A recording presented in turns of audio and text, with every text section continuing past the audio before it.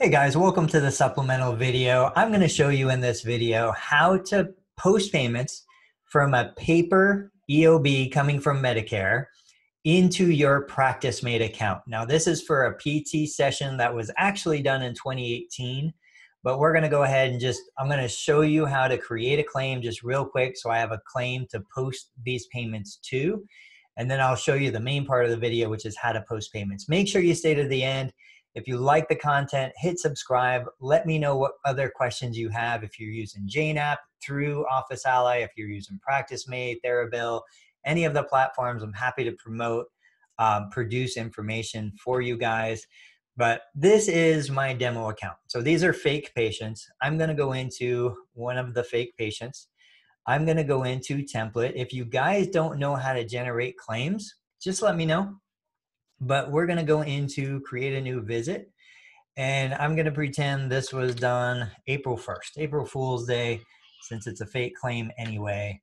We're going to come down here and we're going to say, okay, let's say this was a treatment in the visit, uh, treatment in the visit, a treatment in the clinic. Um, we're going to pretend this patient did not meet the financial threshold. We're going to bill um, $40 a unit for Therex, $40 a unit for manual. I've got all that in there. I'm going to hit update. And so basically what we just did was we created, what did we do? We created this claim right here. No, no, we did um, April 1st. So we created this claim right here, $160. The claim is open.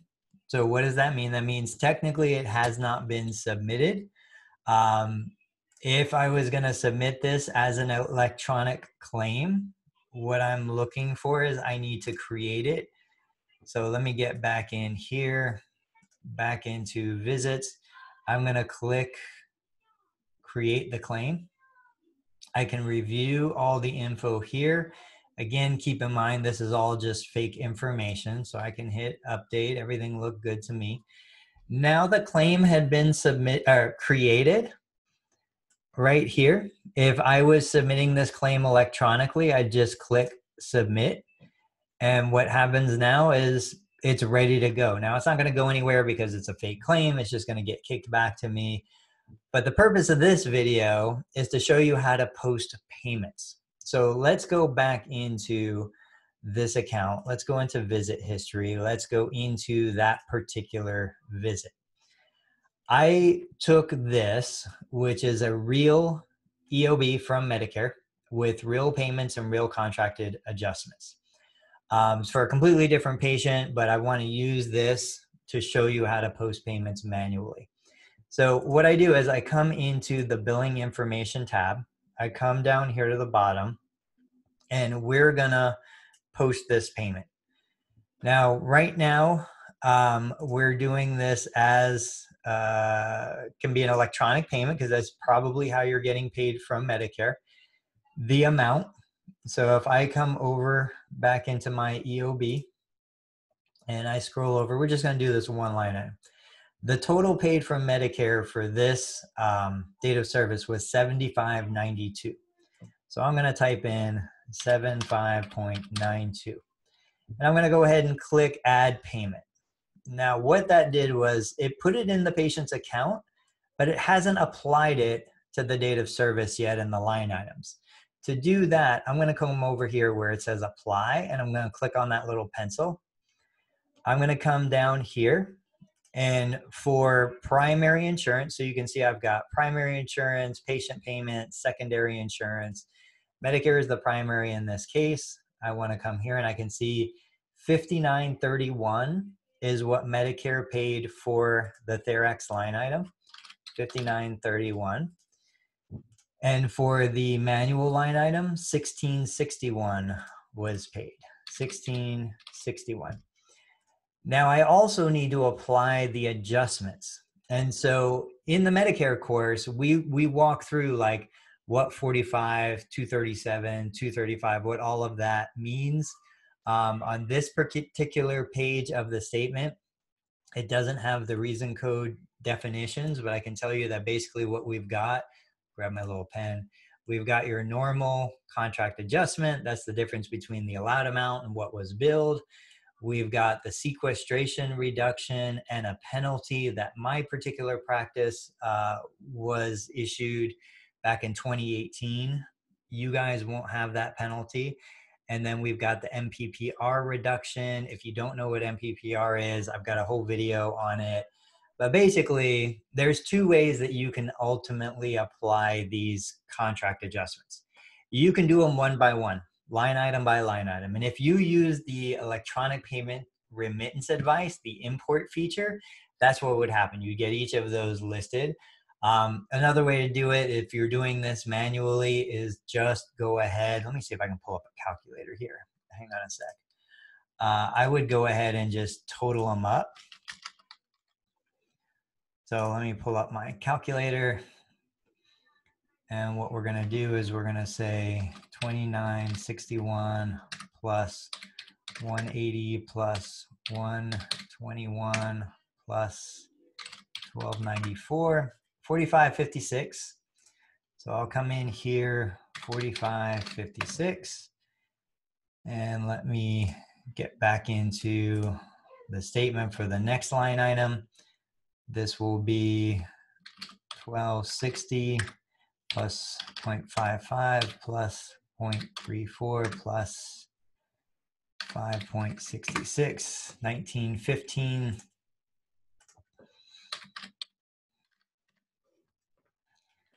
Okay, now before we hit apply, I just want to I want you all to look at what we've got here.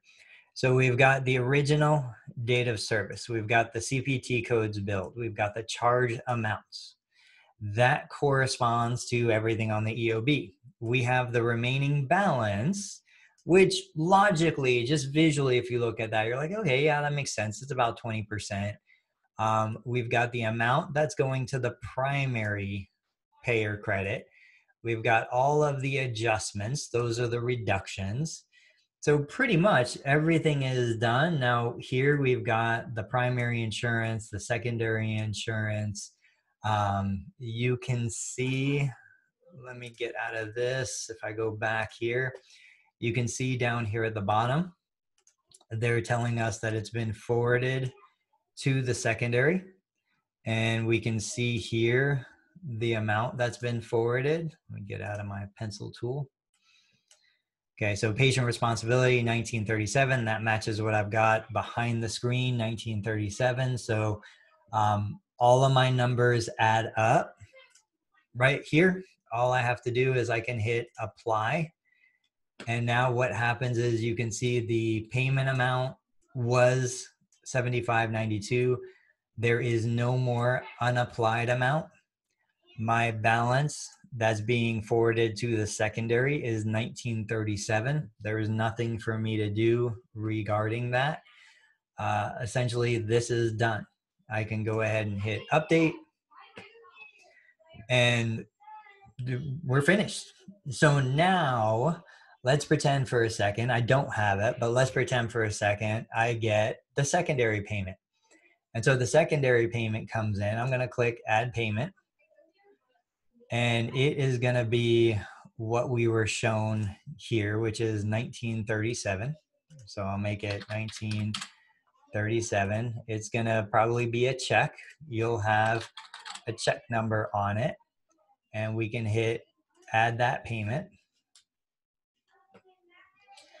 So again, we've got the 1937, we've got zero applied so far. So I'm gonna click apply, pretend I've got my secondary paper EOB. So I go to secondary insurance.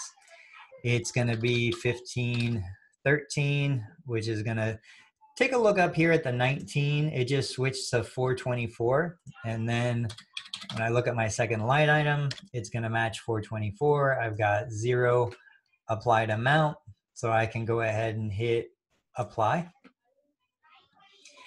and really at this point i'm done because now the the claim is paid at 100% the contract adjustments are in there everything zero balances i can click these two to hit complete and apply update uh, if i go back into billing info real quick you can see that everything is taken care of. Total charge was 160 applied amounts are here zero remaining. You can see the payments that were credited here. Um, you can see who the payments came from. I realize that this payer type is listed as patient. That's just kind of a weird setup in Practicemate but you can see here where everything has been credited um, we can print receipts right from here. So if I needed to print a receipt for whatever reason, that can come there. If there was a patient balance due in the course, in the Medicare billing course, I show you guys how to create patient statements from Practicemate.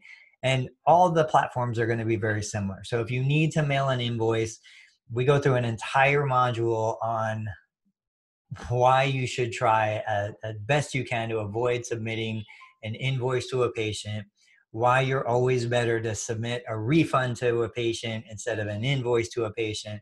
But if something goes wrong and you have to send a patient an invoice, we cover that in the course. Guys, I hope this was helpful for you. I hope this showed you how to go through and do it. And I hope you you see why it's so vital that if you could do this all electronically, post all of these payments electronically, it would save you so much hassle in administrative work. All right, guys, I'll catch you on the next video. As always, subscribe to the channel if you haven't. Let me know in the YouTube comments what other questions you might have in terms of how to use Practicemate, how to generate paper statements, invoices, um, print CMS 1500s, whatever you guys need, I can get it for you. Guys, I'll catch you on the next video. Thanks so much for watching.